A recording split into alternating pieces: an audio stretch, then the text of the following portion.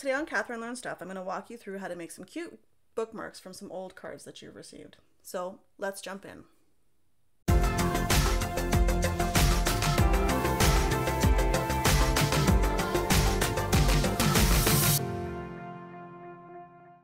So holiday and birthday season is over here at my house and we have all these extra cards left over.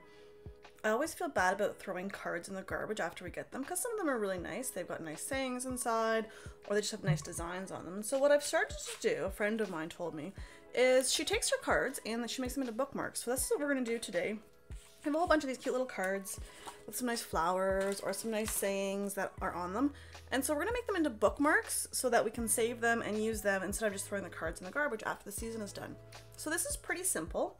Um, I'm just I'm just going to use my simple paper cutter, but you can use scissors. So I'm going to quickly just demonstrate how I use scissors with some of these designs or how I use um, my paper cutter. It's a simple craft. I thought I'd show you because I didn't think about this until someone told me. So let's jump in. So I'm gonna start with this card. This is a really cute card. I like these flowers. So I'm actually gonna just make some bookmarks out of these flowers and I don't need the sayings in this one and I also don't need the sayings inside the card. Um, I kind of just like the pictures. So I'm gonna just use my paper cutter for this one and I'm going to cut the edge of this flower out here like so. And there I've got one bookmark. And I like this flower as well, so I'm gonna do the same thing here. Message and pull this part out just like that. And this flower is cute too, so I'm just gonna snip the side off. And I've got three cute little bookmarks. Now some of these, like this one for example, I don't want this, I want this phrase kept by itself, but I also want to keep these balloons. I'm gonna grab my scissors for this one and I'm going to cut around some of the edges that I want to keep.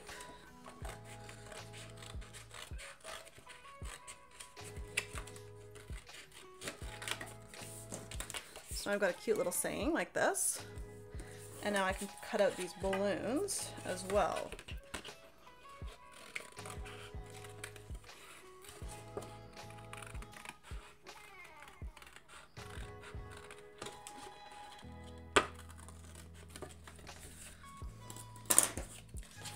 For the pieces that I don't need.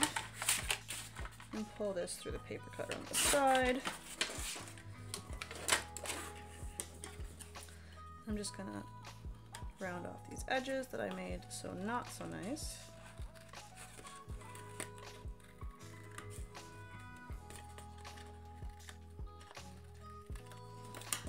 And now again, I've got some more bookmarks. Now I'm going to keep doing this through the rest of my cards. You don't need to watch me do all that. And then we've got a whole bunch of bookmarks done. So we'll be right back in a second. And there you have it. We've made a whole bunch of bookmarks from our old cards. And all we simply need to do is grab a book, put a page in, and we're ready to go. And since I've got a bunch of books that we're using, this will come quite in handy. Um, the one thing I want to point out is with cards like this one here, for example, it's got glitter on it. If you don't want this glitter coming off everywhere and like it's already coming onto my hands and it's staying all over the books, you can cover the card with Mod Podge or you can also laminate it if you've got a laminator and then just cut the edges around. Um, you can also make them fancier if you laminate them. You can put tassels on the outsides. I haven't done that, but you can if you'd like to, just to make the bookmarks last a little bit longer. But the nice thing about these ones is that if you lose them or if they get ruined over time, you can always make some more with the new cards that you get over time. And that's it. Thanks so much for watching. I hope you've liked this quick tutorial. Don't forget to like, comment, and subscribe.